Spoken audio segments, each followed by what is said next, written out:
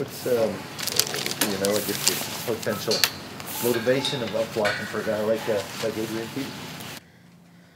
Yeah, and it's fantastic. You know, he's he's had a hell of a career, and you know it's really uh, exciting to be able to block for a guy like that and uh, come in. You know, he's he's been great. He came out to dinner with us last night. Uh, you know, run our offense and, and play ball. Hey, Excuse me. who paid? I forget whose week it was. It was at uh, Taylor's house, so. Uh, it's not, we don't know whether Von Miller's going to play yet or not, but what kind of challenges does somebody like him present while on the same defensive front as Aaron Donald? Yeah, he's an elite, an elite player. You know, one on one, uh, the best of our generation. Um, it's going to be a, an awesome challenge if he's in there and playing. I expect that he will be. Uh, go out there and play ball, and and uh, let, let's go.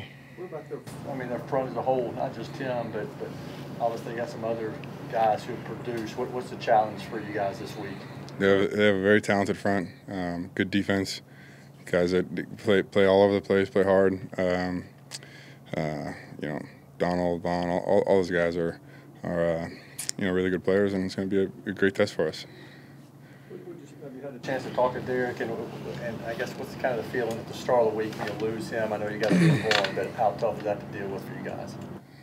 Uh, it was it was a blow. I, I said probably the, the hardest part was in the locker room um, in Indy after that game. That was when we finally did find out the news. That was tough just because he uh, is so competitive. He works so hard. You know, he was on pace to do a lot of special things, and um, you know he was he was pretty emotional as a lot of guys were. David, there's been a lot of talk about how this is a long season with the 17th game. Uh, do you maybe tweak your schedule through the week to, to maybe help uh, make sure you're ready from, uh, for that final game January 9th? Uh, you know, you definitely got to focus on, on recovery. That's a big that's a big part of you know being able to play weekend we got in this league. But uh, for me, it's always just focused about the next about the next game. Be be completely 100% in to play your best ball just the next week.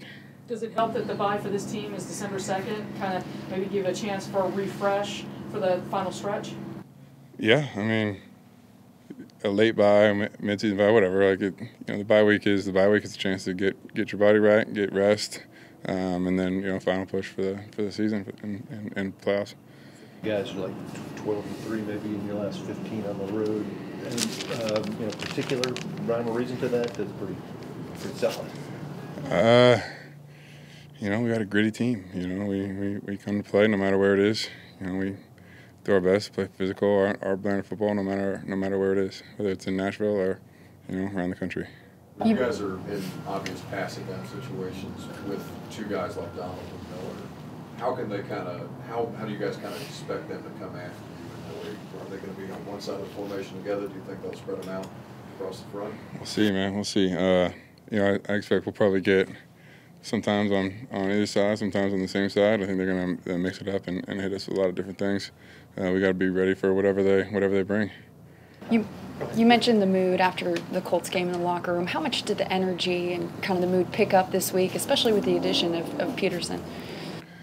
Yeah, yeah, it's exciting. You know, it really is exciting. You know, everybody's very, you know, heartbroken and bummed about Derek, but um, we understand where we're at as a team, and if we want to. Uh, get Derek back rolling and, and, and doing the things that he does, you know, we still got to go out there and play well for for you know this team and, and get him back, and, and so he's, he's rolling when he does come back.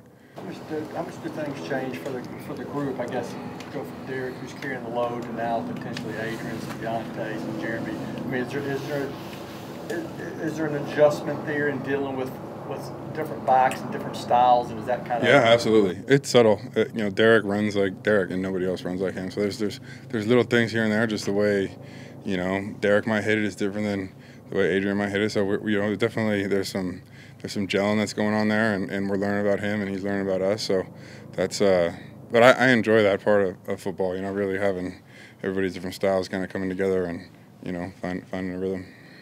Does it help the whole chemistry process, like you mentioned last night? Uh, everybody going to, to, to, eat together. Does that, I mean, I know it's not on the field, obviously. Does that help? Just I think so. I, I, um, I always thought the best teams were also the ones that were the closest. You know, the, the best best kind of camaraderie. Uh, and you know, O line dinners are a big are a big part of that. You know, just kind of spend.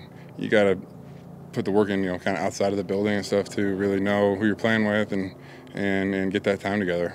So I really enjoy O line dinners and. You guys uh, uh, eating wise or? Yeah, yeah, he can he can he can hold his own there too.